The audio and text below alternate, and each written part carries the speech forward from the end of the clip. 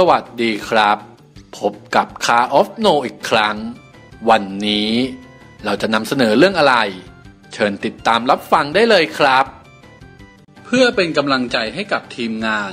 ช่วยกดแชร์กันด้วยนะครับ เจาะตู่สุดแนวทำไมต้องเจาะกันชนท้าย วัฒนธรรมรถซิ่ง เป็นสิ่งที่เติบโตเคียงบ่าเคียงไหลมาพร้อมๆกับอุตสาหกรรมรถยนต์ เป็นเวลานานหลายทศวรรษ ในปัจจุบันนี้เป็นเรื่องธรรมดามาก ที่เราจะพบเห็นรถแต่งซิ่งแบบพร้อมรบ วิ่งกันว่อนเมือง นอกเหนือจากของแต่งซิ่งสุดฮิต ยังมีอีกจุดหนึ่ง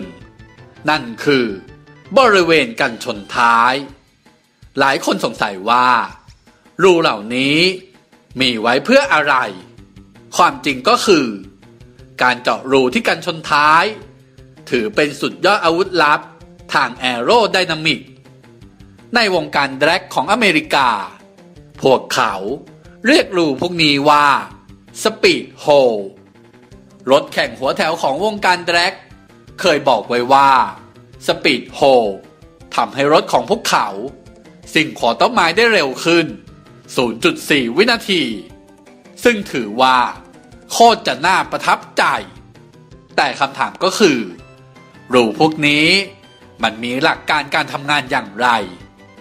หรือมันเป็นแค่ความเชื่อ แค่เรื่องเหลวไหลคำตอบก็คือ สปีดโฮเหล่านี้ ถูกออกแบบมา บนพื้นฐานของอากาศพลศาสตร์ เพราะฉะนั้น มั่นใจได้เลยว่า มันไม่ใช่แค่แฟชั่นกะโหลกกะลาแน่นอน วัตถุประสงค์หลักๆ ของการเจาะรูที่กันชนหลังนั้นก็เพื่อ ลดแรงต้านอากาศ ซึ่งเป็นแรงต้านถูกสร้างขึ้นมาจาก parachute effect ซึ่งปกติแล้ว จะเกิดขึ้น ที่บริเวณภายในของกันชนหลัง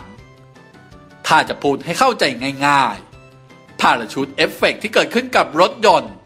ก็คือ การที่ส่วนใดส่วนหนึ่งของรถ กักลมเอาไว้ แทนที่จะปล่อยให้มันไหลไปอย่างอิสระ การไหลของอากาศในลักษณะนี้ จะทำให้ความดันอากาศของบริเวณดังกล่าว กลายเป็นโซนความดันสูง ซึ่งเป็นต้นเหตุที่ทำให้เกิดแรงต้านอากาศ การเจาะรูที่กันชนหลังนั้น จะช่วยระบายความดันที่เกิดขึ้น ซึ่งจะส่งผลให้สามารถลดแรงต้านอากาศ ได้อย่างมีประสิทธิภาพ โดยเฉพาะอย่างยิ่ง ในการขับรถที่มีความเร็วสูงสูง และนั่นก็หมายถึงการแข่งขันประเภท drag นั่นเอง ถึงแม้การเจาะรูที่กันชนท้าย จะมีถิ่นกำเนิดมาจาก drag racing แต่ปัจจุบันนี้ แฟชั่นการเจาะรูที่กันชนหลัง ก็ได้ลุกลามไปยังวงการ circuit เป็นที่เรียบร้อยแล้ว สรุปได้ว่า speed hole หรือรูที่กันชนท้าย ไม่ได้เป็นแค่แฟชั่น หากแต่มันเป็นการเปลี่ยนกันชนธรรมดา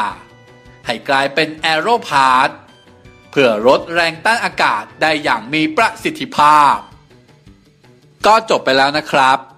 สำหรับเรื่อง เจาะตูดสุดแนวทำไมต้องเจาะกันชนท้าย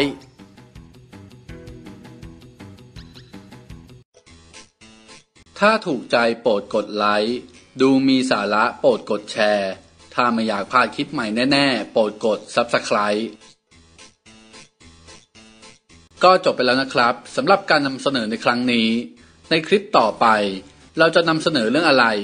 โปรดติดตามกันด้วยนะครับ